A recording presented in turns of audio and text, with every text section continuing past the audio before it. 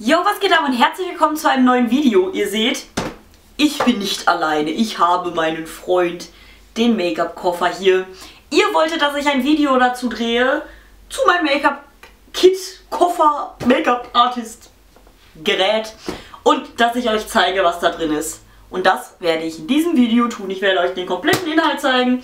Ich habe jetzt nicht extra das Ding aufgeräumt oder so.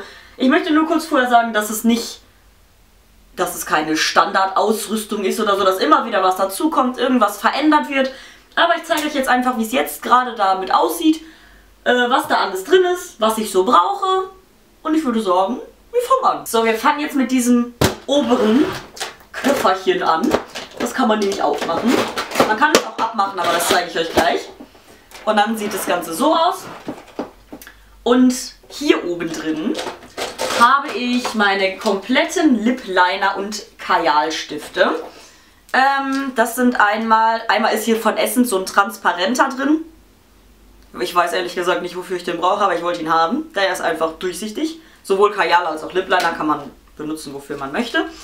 Dann habe ich hier von Grimas, ich weiß gar nicht, wie viele es sind, vier, fünf, sechs, fünf Kajalstifte drin, beziehungsweise Lip Liner. Das ist einmal ein schwarzer Kajal. Braucht man immer. Oh, es ist doch einer mehr, weil hier ist noch der weiße. Ein weißer Kajal. Dann ein bräunlicher.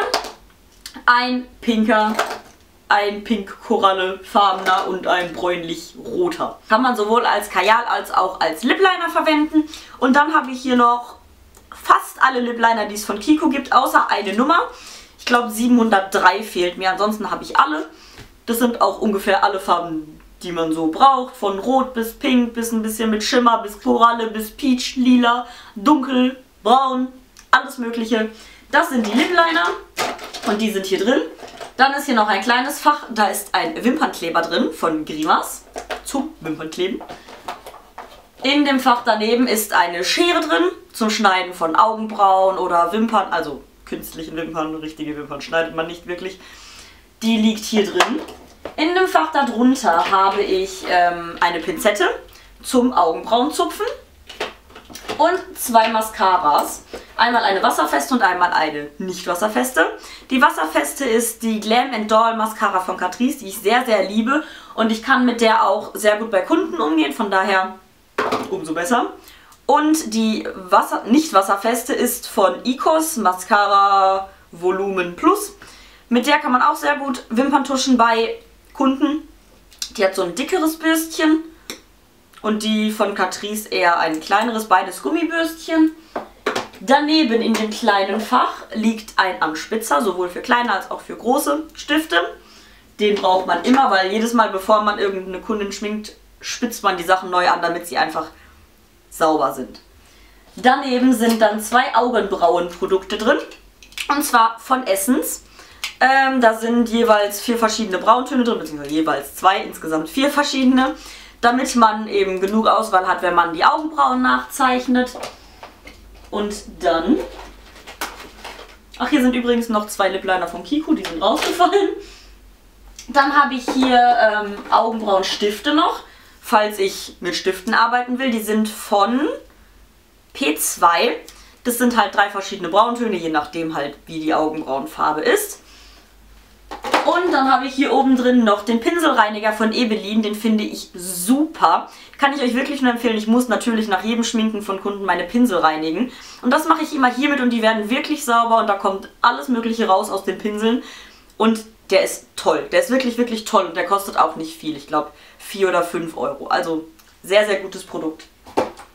Dann habe ich hier drunter in dem Fach ähm, Eyeliner drin. Und zwar zweimal von Essence, einmal wasserfest, einmal nicht wasserfest. Das ist der Liquid Ink Eyeliner und einmal der Liquid Ink Eyeliner in wasserfest. Und dann habe ich hier noch den Eyeliner von LCN drin, den Infinite Liquid Eyeliner. Mit den allen komme ich super klar. Das sind alles Flüssig-Eyeliner mit einem feinen Pinsel. Also nicht so eine Filzstiftspitze, aber mit denen kann ich am besten arbeiten. Klingt zwar unglaubwürdig, aber es ist tatsächlich so. Mit diesen Filzstift-Eyelinern komme ich nicht so gut klar. Und mit Gel-Eyeliner arbeite ich momentan an mir selbst. Dann in dem Fach daneben sind ein paar Wimpern drin. Das ist jetzt nur, also ne, nur drei. Da muss ich halt gucken, wenn eine Kundin sagt, sie hätte gern Wimpern, dann kaufe ich welche. Habe ich jetzt aber nicht immer dabei. Das sind zweimal Einzelpakete von Grimas, also Einzelwimpern und dann einmal ein Wimpernband. Ebenfalls von Grimas, da schneidet man sich dann die Länge einfach raus, die man braucht. Und in dem letzten Fach hier oben ist ein, eine Eyeshadow Base, ein Primer. Einfach damit der Lidschatten besser hält und bessere Deckkraft hat.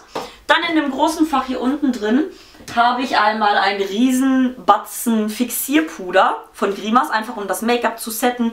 Concealer, wenn man welchen benutzt. Ich habe, wie ihr seht, seht ihr gleich kein Concealer, aber egal. Ähm, Fixierpuder auf jeden Fall, eine Riesenbox.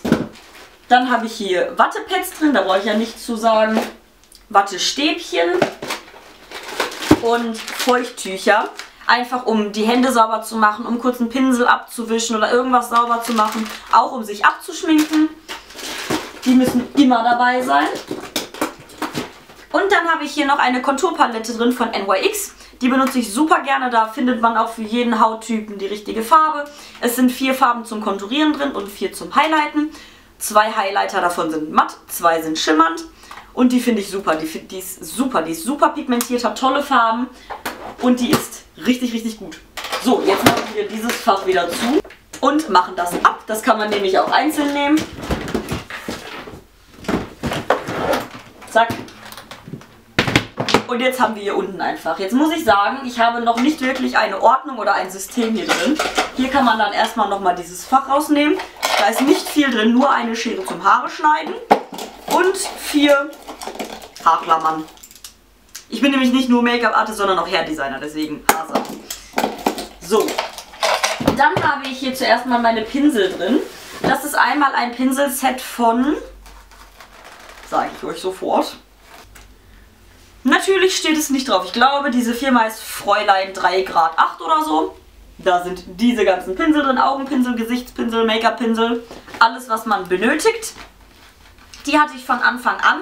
Später habe ich mir dann selber noch ein Pinselset zugelegt und zwar eins von Zoeva. Das ist auch mit einem Pinselgürtel, das heißt, das kann ich mir so an die Hose machen und habe das dann immer parat. Da sind sowohl Augenpinsel als auch Gesichtspinsel und Make-up-Pinsel drin und ein Spatel, womit ich zum Beispiel äh, Lippenstift oder Camouflage aufnehme, äh, damit es halt hygienisch ist. So, das sind die Pinsel, die ich jetzt immer benutze. Die eigentlich, die anderen hier nicht mehr wirklich. Die sind halt einfach mega, mega gut. Also kosten auch ganz schön viel Geld, aber die sind einfach der Wahnsinn. Das heißt auch, glaube ich, wenn ihr das bestellen wollt bei Zoeva Make-up Artist Belt oder so.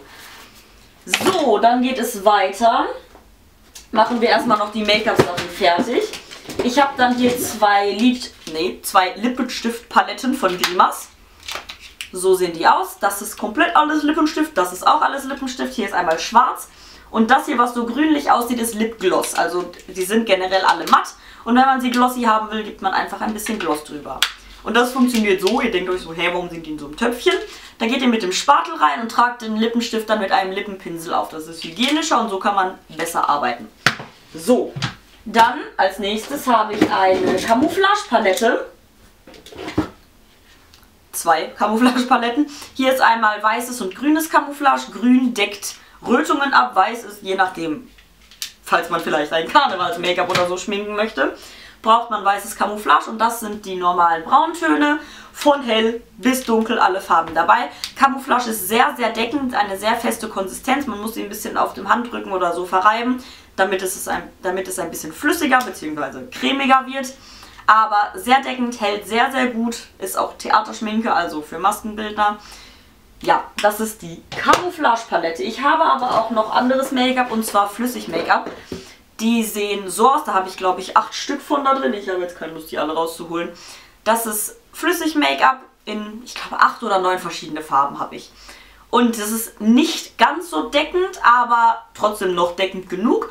Und wie ihr seht, ich habe keinen Concealer. Ich benutze sowohl die Flüssig Foundation als auch ähm, das Camouflage einfach mit als Concealer. Man kann dann eine hellere Nuance nehmen, um ein bisschen aufzuhellen. Man kann natürlich auch dunklere Nuancen nehmen, um ein bisschen zu konturieren. Das kann man auch mit Puder machen, wie man will. Auf jeden Fall habe ich hier auch noch Flüssig Foundation drin. Mehrere. Und dann zu guter Letzt, was Make-up angeht, habe ich dann noch Lidschattenpaletten. Vier Stück von Grimas. Die erste sieht so aus, die zweite so, die dritte so und die vierte sind Schimmerlidschatten und die sehen so aus. Ich nehme meistens noch meine Naked-Paletten mit zum Schminken oder andere Paletten. Äh, ah, die habe ich nicht da drin, weil ich die äh, selber auch benutze, beziehungsweise die hier gerne zu Hause in meinem Schrank habe. Ah, die packe ich dann einfach da rein. Generell, wenn ich irgendwas noch benötige, packe ich das einfach dazu. So, dann habe ich hier eine kleine Box. Da sind äh, Bobbypins drin in verschiedenen Größen. Haargummis, normal große Haargummis und diese ganz kleinen Gummis für kleine Zöpfe oder Sachen, die man nicht sehen soll. Die sind hier drin. Dann habe ich noch ein Kammset von Comer oder wie das heißt. Das sieht so aus, einfach viele verschiedene Kämme, Stielkämme, große Kämme, kleine Kämme, schöne Kämme, lange Kämme, tolle Kämme. Alle da drin zum Kämmen und zum Frisieren natürlich. Ähm, dann habe ich hier gerade noch meinen Lockenstab drin. Das ist irgendeiner von Remington. Ich kann euch den mal kurz zeigen. So sieht der aus, einfach so ein Lockenstab mit einer Klemme, mit dem kann man ganz gut arbeiten. Aber da nehme ich auch einfach gerade das mit, was ich brauche. Wenn ich einen Föhn brauche, wenn ich ein Glätteisen brauche, wenn ich einen Lockenstab brauche, schmeiße ich das dann immer nach Bedarf rein. Der ist jetzt einfach durch Zufall gerade drin. Dann habe ich hier eine Bürste drin, die ist auch von Comer, glaube ich. Einfach eine ganz normale Haarbürste. Und dann noch vier, vier Rundbürsten. Und zwar eine kleine, zwei mittelgroße und eine große. Ihr wisst, wofür man Rundbürsten braucht. Und dann sind nur noch die restlichen Flüssig-Make-ups da unten drin. Und das war's. Das war ein mein Make-up-Artist-Kit. Schreibt mir mal gerne in die Kommentare, wie ihr dieses Video fandet. Ob euch überrascht, was in dem Make-up-Artist-Kit so drin ist oder ob ihr euch das schon gedacht habt oder ob ihr euch das anders vorgestellt habt. Alles mal in die Kommentare damit. Und wenn ihr jetzt sehen wollt, wie ich mit diesen Produkten arbeite, verlinke ich euch mal ein Video von meinem anderen Kanal und zwar von meinem Make-up-Artist-Kanal. Da seht ihr, wie ich Laura geschminkt habe. Mit diesen ganzen Produkten könnt ihr gerne mal reinklicken und ansonsten wünsche ich euch noch einen wunderschönen Tag und sage bis zum nächsten Mal. Tschüss!